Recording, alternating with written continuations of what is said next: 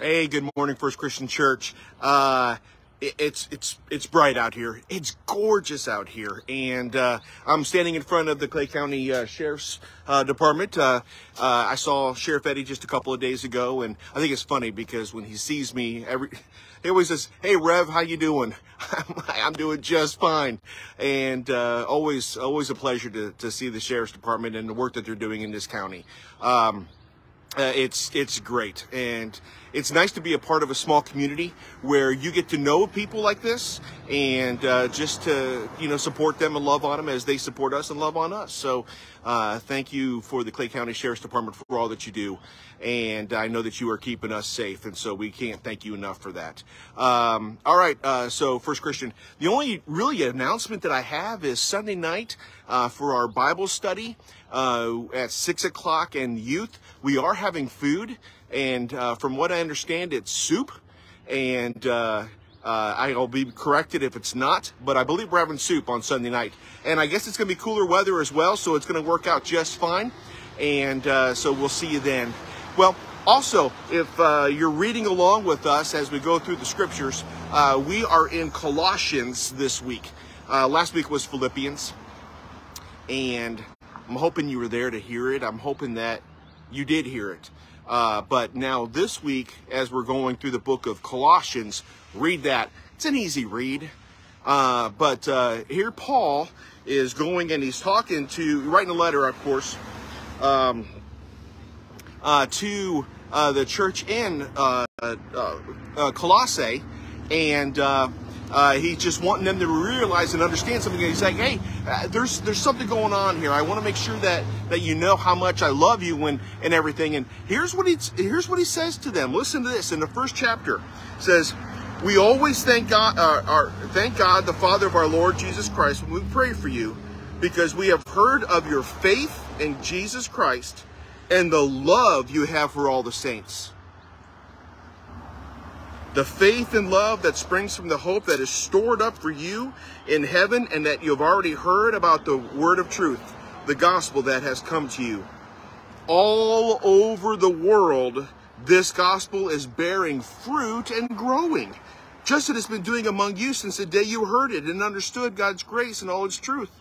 You learned it from Epaphras, our dear fellow servant who was faithful minister of Christ uh, on our behalf and who has told us of the love in the spirit. Now, one of the great things about that is like, hey, because of you, Colossae, because of of you, your love that you have for all the saints and uh, that is known throughout all the world, all the world known at that time.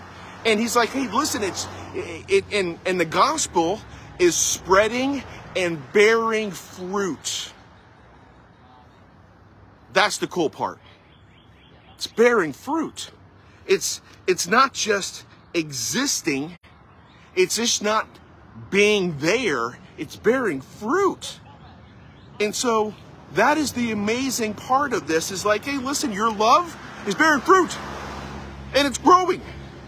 Then it goes on and he says this For this reason, since the day we heard about you, we have not stopped praying for you and is asking God to fill you with the knowledge of his will through all spiritual wisdom and understanding.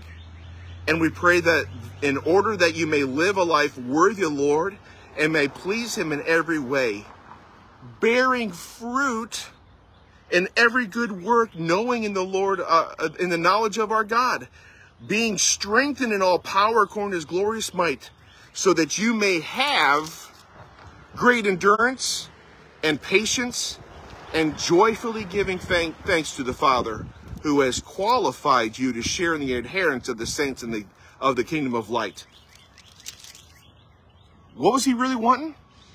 He wanted them to continue to bear fruit, to do what he wants us to do. And he says, so that you may live the life worthy of the call. Now, that's the thing that we have got to make sure that we are doing personally. What are you doing? Are you living the life worthy of the call that has separated you? Are you living the life that is bearing fruit daily in your interactions with not only your family, your coworkers, uh, the people in the community? Are you bearing fruit? Got to ask that, guys. How are we supposed to reach people for Christ? How are we supposed to if you're not bearing fruit? If we're not bearing fruit? Bear fruit. Let your love grow. All right? So, uh, I will see you Sunday morning, 945 Bible, uh, Sunday school, 11 o'clock worship service, Sunday night. Remember, we're having soup and Bible study and youth at that time as well. All right? Love you guys, and I'll see you later.